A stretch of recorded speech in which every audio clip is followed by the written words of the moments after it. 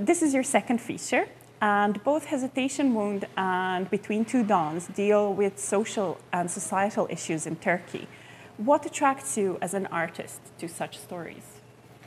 Um, of course, when you decide to make films, uh, there are many reasons, and uh, most of them for me come intuitively. I decide like what I what I want to do.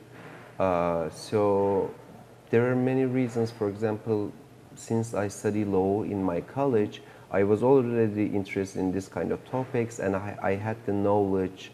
I, I had a chance to you know think about these issues.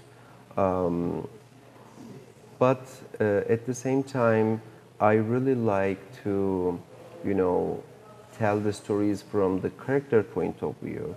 Uh, and the characters are, uh, my characters are in stuck in between things.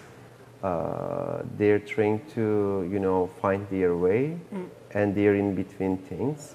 And I kind of feel Turkey is in a similar position in many sense and uh, that's why there's a connection between the character and uh, whatever issue is I'm talking. Uh, so I try to understand through the character how the system is working or not working, what is the relationship mm-hmm. between them. So um, in this case, uh, in Hesitation Wound, there's a crime and we, um, we try to understand if you know, who did it, why uh, he did it. Uh, you know, we, we try to understand many things, but also I try to push audience to understand what is the relationship with this crime and the city, uh, you know, mm-hmm. because I kind of feel everything is connected in a way, and uh, I try to discover this through my characters. I think uh, now the ending makes more sense because it connects exactly, exactly. what you said. Mm. Um, can you explain the choice of the title, Hesitation Wound? One is obviously the accused suicide attempt, mm-hmm. but is there more to the title, to the story as a whole?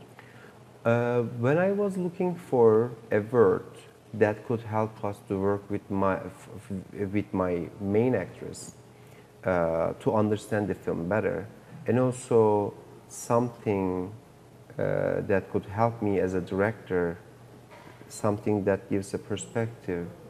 Uh, when I was looking for this, I found hesitation mm-hmm. because um, characters are hesitating in the film for many things.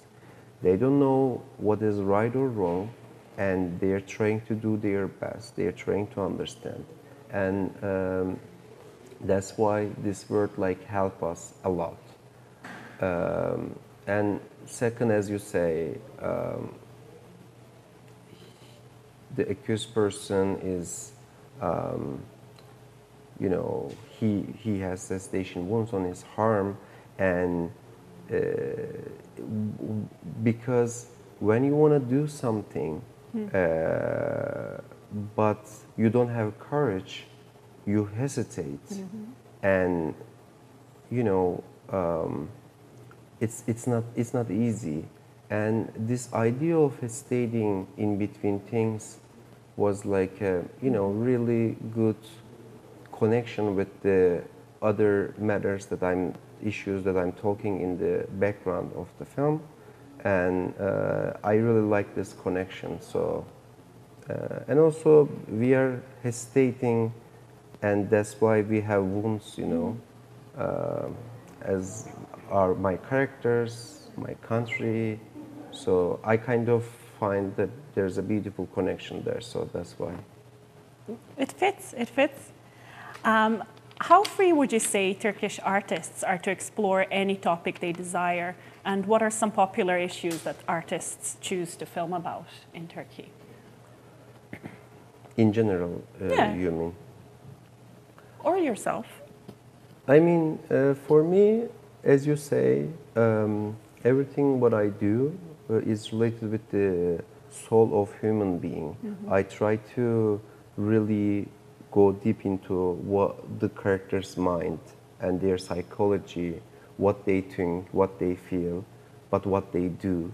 uh, and especially I'm really interested when there is a time pressure or different kind of pressure because um, mm-hmm. if I ask you what would you do in or like what you think uh, what he should do you know then you can give like great analytical answers like reasonable uh, ideal mm-hmm. but if something happens to you and if you have a many kind of pressure and you have to give a reaction and if it's related with you the issue or with someone who is close to you then it's really difficult to give the answer same question but uh, at least the time duration of the answer takes longer and longer mm. so um, i think uh, that's something that I am trying to understand, but I always want to have connection with the,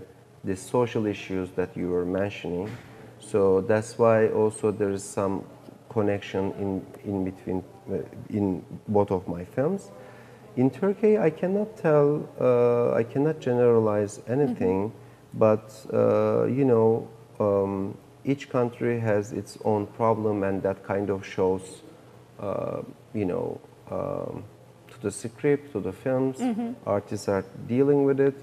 Uh, I think, for example, right now Turkey is going through a huge economical crisis, and uh, I can see that that's kind of like reflecting uh, what people are doing, and um,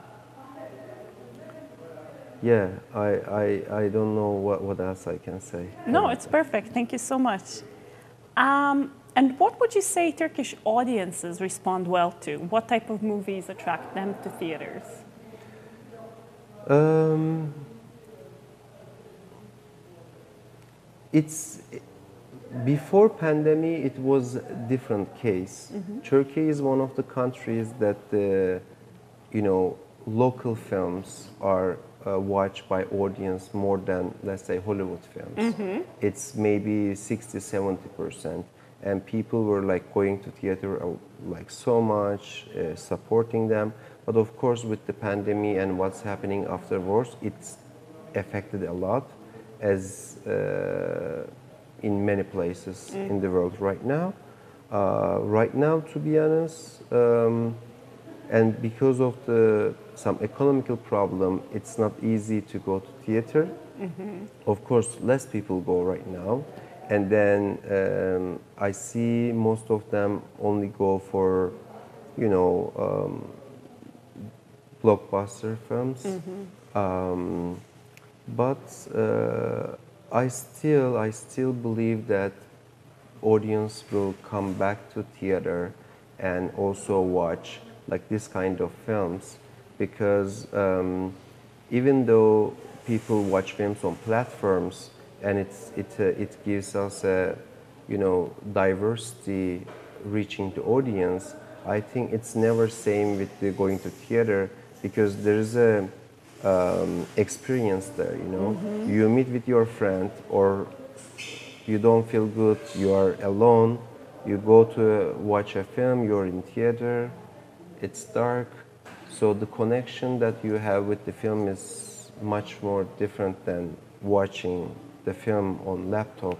So yeah. um, I believe like Turkish audience were like sub- going this kind of films much more in the past, and I believe we can somehow bring them back to theater. Um, so I'm from Croatia, and we've seen one more. Yeah. I'm from Croatia, and we've seen a lot of Turkish television uh, in the past 10 mm-hmm. years, mm-hmm. uh, mostly soap operas, of course. Um, do you think these kind of programs have their value, or are they just part of a propaganda campaign?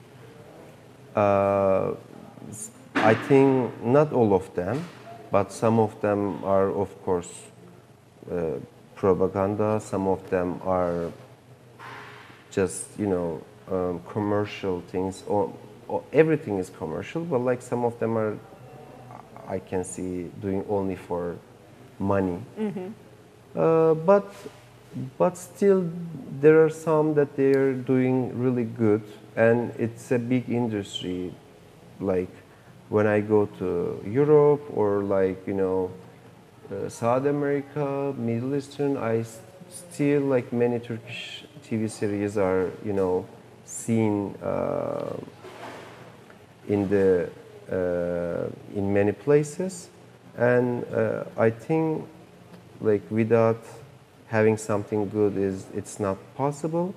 Um, but of course, there are so many TV series, so like there are every kind. yeah.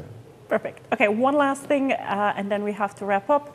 What Turkish cinema uh, would you recommend for someone to watch? What's the movie to watch from Turkey? Difficult question. I mean, uh, if if it's if I can say something like some time ago, uh, for example, Once Upon a Time in Anatolia is a great film by Nuri Bilge Ceylan. Um, it was, I think, more than 10 years ago. So that would, if I would name one film, that would be that. That's perfect. Thank you so Thank much for your time. Thank you.